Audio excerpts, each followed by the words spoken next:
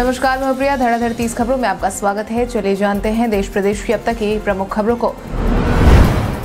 ऊर्जा मंत्रालय, भारत सरकार ने राज्यों में बिजली के स्मार्ट मीटर के मामले में उपभोक्ताओं के हित में आदेश जारी किया है। ईईएसएल को निर्देश दिया है कि राज्यों में उपभोक्ताओं के घरों पर 2G या 3G तकनीक के नहीं, बल्कि 4G तकनीक के स्मार्ट मीटर लगाए जाने की बात कही गई है।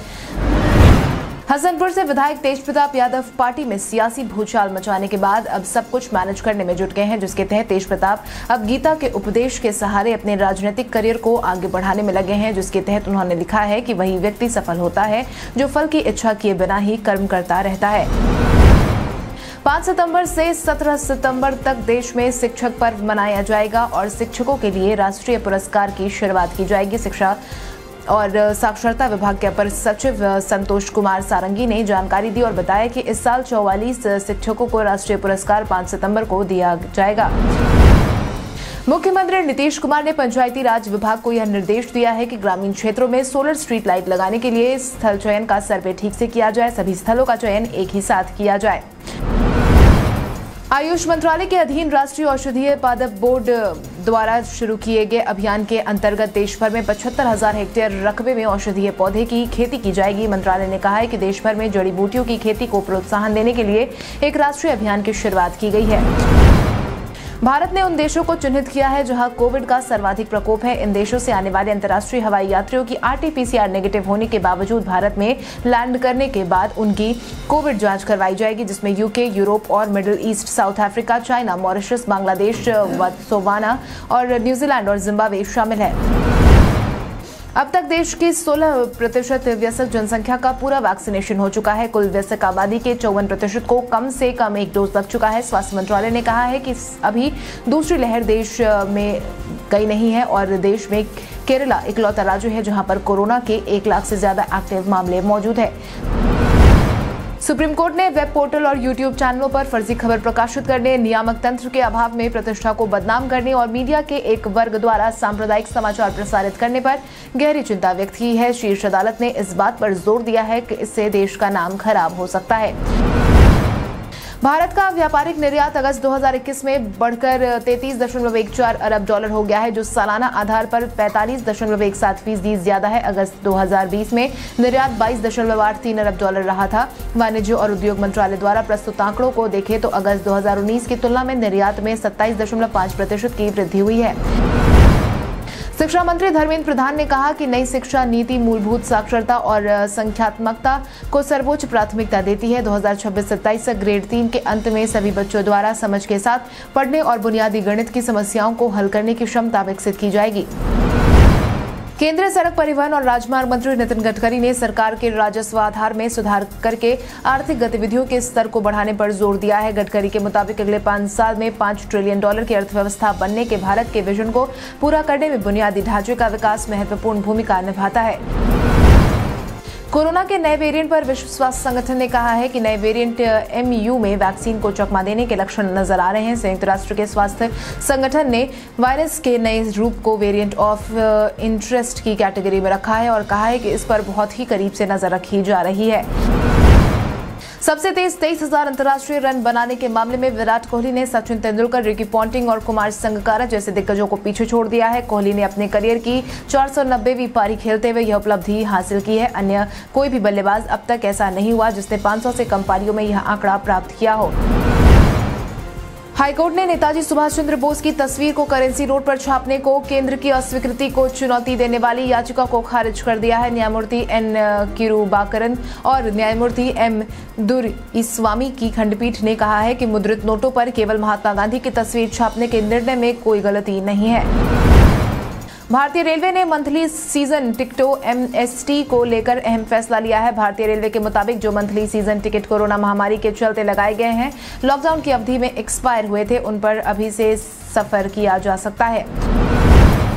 पूर्व आईपीएस अमिताभ ठाकुर ने अपनी गिरफ्तारी के बाद उत्तर प्रदेश के नौ अधिकारियों के खिलाफ परिवाद दर्ज कर दिया है। ठाकुर ने परिवाद में आरोप लगाया है कि उनसे बदला लेने के इरादे से निकाला गया और अब फर्जी मुकदमे लगाकर जेल भेज दिया गया है। अभिनेता सिद्धार्थ शुक्ला की विदाई हो गई है, जिसके बाद अभिनेता पंचतत्व में विलीन हो गए हैं। हालाँकि इस दौरान उनकी कथित गर्लफ्रेंड शहनाज गिल का वीडियो सामने आया है, जिसमें वो बेसुध नज़र आ रही हैं, जहाँ शहनाज को उनके भाई संभाल रहे हैं।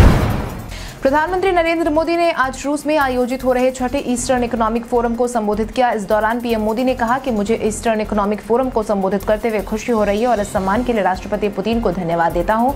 उन्होंने कहा कि भारत रूस का एक विश्वसनीय भागीदार है। कॉलेज ऑफ़ डिफेंस मैनेजमेंट द्वारा किए गए आंतरिक अध्ययन में कौटिल्य के अर्थशास्त्र और भगवत गीता जैसे प्राचीन भारतीय ग्रंथों को सैन्य प्रशिक्षण कार्यक्रम में शामिल करने की सिफारिश कर दी गई है।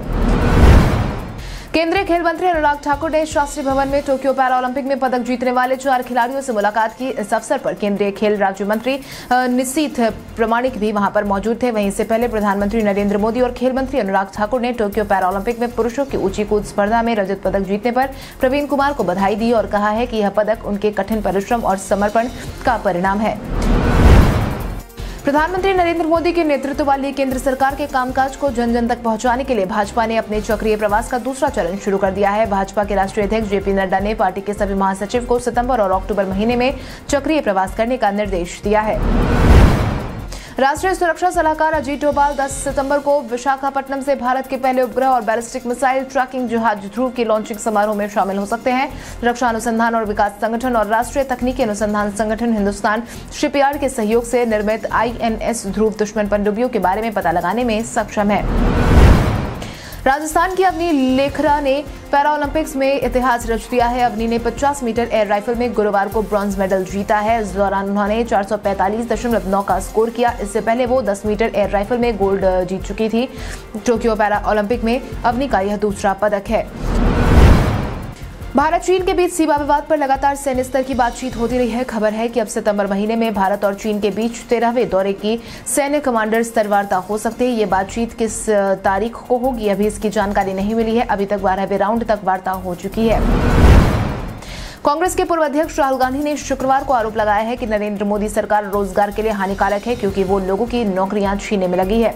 राहुल ने बेरोजगारी के बढ़ते आंकड़ों पर चिंता ज़ाहिर करते हुए केंद्र सरकार को शुक्रवार को कटघरे में खड़ा कर कहा है कि रोज़गार सृजन की कोई पहल नहीं हो रही है और युवाओं के भविष्य को लेकर इस सरकार की भूमिका अत्यंत ही निराशाजनक है। देश में शुक्रवार को जारी किए गए आंकड़े के अनुसार कुल मिलाकर पैंतालीस हज़ार तीन सौ बावन नए कोरोना के मरीजों की पुष्टि हुई है और केरल में अकेले बात करें तो बत्तीस हज़ार संतानवे मामले की पुष्टि हुई है। इस बीमारी से देश भर में तीन सौ छियासठ लोगों की जान चली गई है, जबकि केरल में एक सौ अट्ठासी लोगों की जान गई है। इस दौरान देश भर में स्वस्थ होने वालों की संख्या चौतीस हज़ार सात सौ इक्यानवे रही। केंद्रीय जाँच एजेंसी प्रवर्तन निदेशालय ने बिहार मूल के रहने वाले और राष्ट्रीय जनता दल पार्टी के सांसद अमरेंद्र धारी सिंह की तेरह करोड़ चौतीस लाख कीमत की संपत्ति को अटैच किया है। ईडी ने पाया है कि उर्वक घोटाले और करीब छह सौ पचासी करोड़ रुपए के रिश्वत मामले में काफ़ी सबूत को ध्यान में रखते हुए इस कार्रवाई को अंजाम दिया गया है। पटना नई दिल्ली तेजस राजधानी एक्सप्रेस में यात्रा के दौरान अंडरवियर और बनियान पहनने पर हुए विवाद को लेकर जदयू विधायक पर नई दिल्ली में मामला दर्ज कराया गया है। तेजस के यात्री जहानाबाद के हुलासपुर थाना क्षेत्र के प्रहलाद पासवान ने दिल्ली पहुँचने पर नई दिल्ली के जीआरपी थाने में प्राथमिकी दर्ज कराई है। बिहार के नालंदा ज़िले के स्थावा प्रखंड के अमावा पंचायत के मानपुर गाँव के 80 वर्षीय किसान हैं महेंद्र सिंह, जो अपने खेतों की मिट्टी का ही कहा मानते हैं। प्रधानमंत्री से किसान महेंद्र सिंह का संवाद कराने की तैयारी में पूरा कृषि महकमा अभी से जुट गया है। उनके खेत का मुआयना किया जा चुका है। प्रो कबड्डी लीग में इस बार विदेशी खिलाड़ी भी प्रतिभा दिखाएँगे। प्रो कबड्डी लीग में इस बार 22 विदेशी खिलाड़ी शामिल किए गए हैं। इसमें सबसे बड़ा नाम है ईरान के मोहम्मद दर्जा। शहादुल्लई शयानेह का। वहीं बांग्लादेश के जियाउर रहमान को बेंगलुरु बुल्स और ईरान के सोलेमन पहलवानी को गुजरात ने खरीदा है।